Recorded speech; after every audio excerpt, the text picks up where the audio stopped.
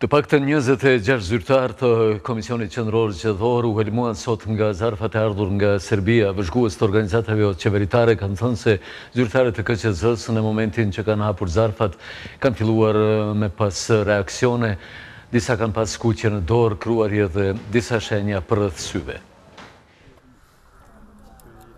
Instituti Kombëtar i Shëndetit Publik dhe Klinika Infektive konfirmuan se nëntë zyrtarët e Komisionit Qendror Zgjedhor kishin kruarje të intensitetit të ulët dhe se gjendja e tyre është stabile, ndërkohë që janë duke i ndërmarrë të gjitha masat dhe analizat për të konstatuar shkaqet për të cilat kanë kërkuar ndihmë mjekësore.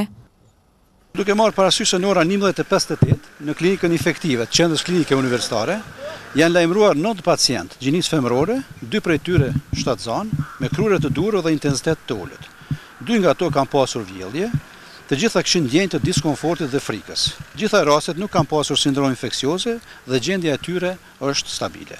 Pacientët pohojnë se menjëherë pas hapjes zarfave brenda në kutitë e votimeve kanë ndjerë një aromë kundërmuese, janë paraqitur te mjekët, në QKMF së pari dhe pastaj në Klinikën Infektive. Rezultatet laboratorike presin kohën e vet kur e kanë të përfundojnë, unë s'besoj para njëzet e katër deri katërdhjetë e tetë orë. Kryeshefi ekzekutiv i Komisionit Qendror të Zgjedhjeve, Enis Halimi, tha se autoritetet përgjegjëse janë duke u marrë me këtë rast dhe se Komisioni Qendror i Zgjedhjeve mbetet i përkushtuar në ruajtjen e integritetit të procesit zgjedhor. Jemi në proces të verifikimit të fletëvotimeve që kanë ardhë nga jashtë Kosovës, ndërkohë është raportu një problem në lidhje me një kundërmim që ka ndodhë nga disa pliko. Më pastaj kemi procedu me njoftimin e organeve kompetente, të cilat tashmë kanë marrë masa në kontrol dhe jemi në pritje të verifikimit dhe saktësimit të gjendjes nga ana e tyre. Ne jemi të interesuar dhe të përkushtuar që të ofrojmë sigurinë maksimale për këtë material të nevojshëm dhe që të mos ketë prekje në integritetin e procesit zgjedhor. Besnik Buzhala nga Divizioni i Shërbimit të Votuesëve bëri të ditur se kanë vendosur që procesi për votat e ardhura nga Serbia të suspendohet për një kohë të pacaktuar derisa të bëhet verifikimi i pakove. Kur jemi tek procesi i rinumërimit të votave, në KQZ kanë bërë të ditur se nga treqind e katërmbëdhjetë vendvotime, deri mbrëmë në mesnatë janë rinumëruar njëqind e dyzet e një vendvotime. Procesi i rinumërimit të votave po vazhdon dhe deri të shtunën në mesnatë janë numëruar njëqind e dyzet e një nga treqind e katërmbëdhjetë vendvotime, bëri të ditur zëdhënësi i Komisionit Qendror të Zgjedhjeve, Valmir Elezi. Është duke vazhduar procesi i rinumërimit të vendvotimeve për të cilat ka vendosur ditë më parë Komisioni Qendror i Zgjedhjeve. Të dhënat e fundit janë të shtunës e të shtunës në mesnatë, pra deri të shtunën në mesnatë janë rinumëruar njëqind e dyzet e një nga treqind e katërmbëdhjetë vendvotime për të cilat pra ka vendosur KQZ-ja që të rinumërohen. Ndërsa lidhur me numërimin e votave me kusht, me postë dhe të personave me nevoja të veçanta, Elezi tha se pas përfundimit të procesit të rinumërimit do të fillojnë me numërimin e këtyre votave. Po besojmë që menjëherë pas përfundimit të procesit të rinumërimit të këtyre vendvotimeve, të fillojnë me numërimin e votave nga këto të votave specifike, pra siç janë votat me kusht, votat e persona me nevoja të veçanta dhe vota të cilat kanë ardhur përmes postës. Dhe pastaj KQZ-ja procedon më tutje drejt shpalljeve të rezultateve përfundimtare. Procesi i rinumërimit të votave në treqind e katërmbëdhjetë vendvotime po bëhet për shkak të një gabimi teknik në fletëvotime. Kandidati i Lëvizjes Vetëvendosje për kryeministër, Albin Kurti, paraditen e sotme zhvilloi një takim me përfaqësuesin e koalicionit, Slloboda, Nenad Rashiq, me të cilin diskutoi kryesisht për procesin zgjedhor në vendbanimet me shumicë serbe. Procesi zgjedhor në vendbanimet serbe ishte në qendër të takimit të sotëm të kandidatit për kryeministër të Lëvizjes Vetëvendosje, Albin Kurti, me kandidatin për kryeministër të koalicionit Slloboda, Nenad Rashiq. Zotëri Rashiq nuk e ka asnjë aferë apo skandal të vetëm si ministër. Më duhet të them që njëri ndër ministrat më të mirë të Kosovës pas shpalljes së pavarësisë është pikërisht Rashiq dhe bisedova me të, për procesin zgjedhor se si ka shkuar në vendbanimet me shumicë serbe dhe ky është shumë i zhgënjyer me parregullsitë dhe shkeljet e shumta. Kurti qartësoi se me Rashiqin nuk kanë diskutuar për koalicionin e ardhshëm, duke shtuar se do të adresohen të gjitha shkeljet që janë bërë gjatë procesit zgjedhor në vendbanimet serbe. Nuk ishte ndonjë takim për le të themi koalicionin e ardhshëm qeverisës, meqenëse ne aty do të merremi më shumë tash me bisedimet që i kemi me Lidhjen Demokratike të Kosovës. Besoj ky është një hap i mëvonshëm pasi që ne t'i përmbyllim bisedimet me Lidhjen Demokratike të Kosovës. Edhe nga vëzhguesit ndërkombëtarë, edhe nga zotëri Rashiq, çfarë kam dëgjuar, mund të them, që më shumë ka demokraci në Kinë sesa në vendbanimet me shumicë serbe në Kosovë. Kandidati për kryeministër i Lëvizjes Vetëvendosje Albin Kurti konfirmoi se gjatë javës së ardhshme do të ketë takime me Lidhjen Demokratike të Kosovës, e cila sipas rezultateve të deritanishme renditet partia e dytë fituese.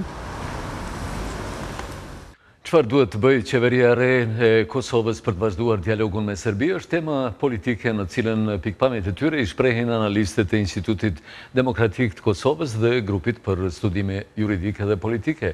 Pos tjerash ata konsiderojnë se përfshirja direkte e Shteteve të Bashkuara të Amerikës në këtë dialog paraqet ndryshim të formatit të tij. Qeverinë e re do ta pret sfida e procesit të dialogut Kosovë-Serbi, i cili po qëndron i pezulluar pas vendosjes së taksës nga Kosova për prodhimet serbe.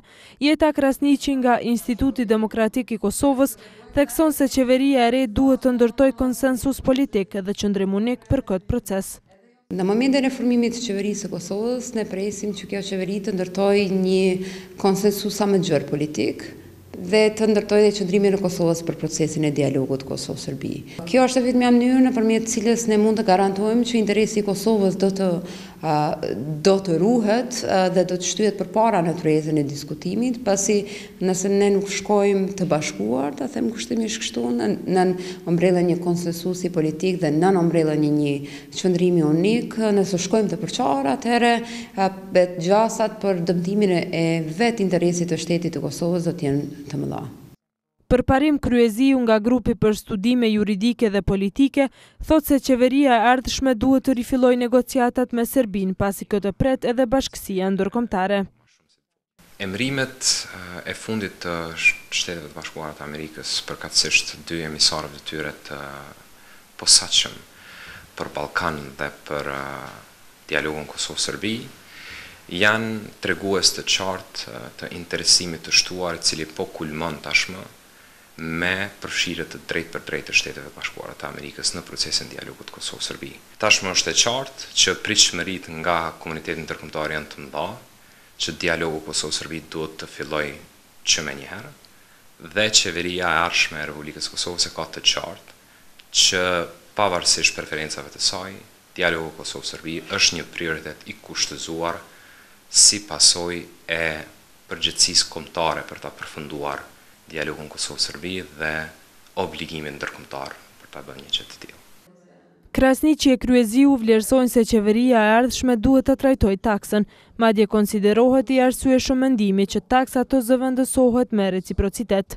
Qeveria e ardhshme duhet ta konsiderojë çështjen e taksës dhe duhet ta konsiderojë në një prizëm pak më gjërë, pra nëse çfarë duhet të bëjë me taksën dhe çfarë duhet cilat duhet të jenë kërkesat kundrejt dhe Serbisë, pasi është më se e qartë që taksa nuk ka ardh kundër dialogut, po ka ardh kundër sjelljeve destruktive të Serbisë ndaj shtetit të Kosovës.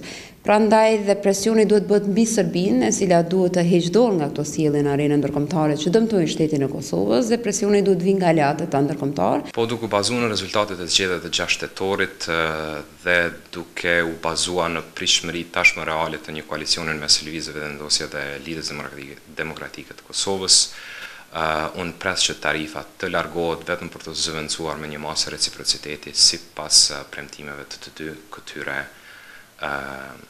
të këtyre partive. Procesi i dialogut Kosovë-Serbi ka ngecur që nga nëntori i vitit të kaluar, pas vendosjes së taksës njëqind për qind ndaj produkteve serbe.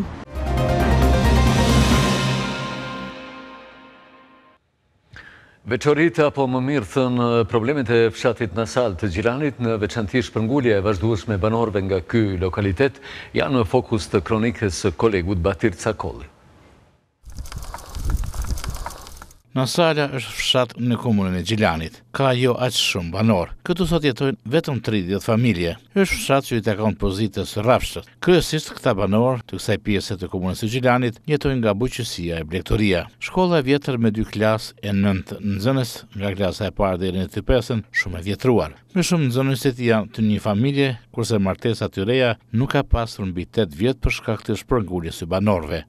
Shkollën që është kaq e vogël, mirë, kushtet janë, nuk janë, siç po e shihni edhe vetë, nuk janë edhe shumë të mira, por edhe nxënësa ka pak. Vjet 10 nxënësa i kam pasë dy paralele të ndame, paralelja e dytë dhe e katërt, sivjet ka shku paralelja e katërt në Lladovë, e vijojnë mësimin në Lladovë klasën e pestë, ka ardh klasa e parë. Në klasën e parë është vetëm një nxënëse. Këta tetë vetë janë në klasën e tretë. Edhe problemi është që nuk po lindin fëmijë, s'ka, krejt mi mbledh, krejt ka dy tre janë prej një familjes. E banorët thonë se këtë fshat e mbajnë mërgimtarët, meqë komuna deri tash përveç premtimeve, diçka konkrete nuk ka bërë për fshatin. Rruga pa asfaltuar, mungesa ujit të pijshëm, e bëjnë këtë fshat të largohen banorët. Por, janë ndërtuar me dhjetra shtëpi të reja bashkohore, të pamje të bukur, ia kanë ndryshuar të rinjët mërgimtarë të këtij lokaliteti. Emigrimi e ka bo t'vetën, më martu s'po ka rini, edhe kështu që po jetë mangun edhe te fëmija edhe të si se dhe të eshë. Ka shtë shëmi bon. Ata mi si të shkojnë atje edhe për ka dy a tri javë po vinë edhe po këthejen. Ata s'po krijojnë familje këtu, faktike, po atje po krijojnë familje të vetën. Edhe kështu që që unë mas pakti po tregoj vllazët e mi që shpien që ky vllai ma se njëqind mijë euro shembull që aty i ka shtijen Tjetri vlla që poshtë se na poshtë i kemi shpia qeto çka lagje domethënë çka rrok e jona është ai vjen dy javë ditë ka djalë e çikë Shembull i ka të regjistrumë që në shkollë. Siç po shihet rruga e paasfaltu, uji është mjerim s'kemi as ujë, kemi një ujë, burimi është i thartë këtu, domthonë në gjithë fshatin, mirëpo është problemi që është shumë, shumë, shumë i dëmshëm për shëndet. Një ditë e bac. Një ditë e. Banor ka pak vetë do shumica se kanë shku jashtë, rruga ka metë pa asfaltu, ujë pa, pa ujë jena. Asnjëherë pushtetarët e komunës nuk i kanë dalë në ndihmë këtij fshati. Në fshat është hapur një pus mbi njëqind e pesëdhjetë metra thellësi. Shpimi është bërë para disa vitesh, por uji ka dalë i thartë dhe tridhjetë e dy gradë i nxehtë. Kjo gjendje po e zbeh pamjen dhe rëndësinë që e ka ky fshat me shumë bukuri natyrore. Askush nuk ua çan hallin këtyre banorëve, të cilët kanë nevojë jo vetëm për rrugë, ujë, por edhe për transport urban, i cili do t'i gëzonte shkollarët që udhëtojnë në qytet apo në shkollën e Zhegrës.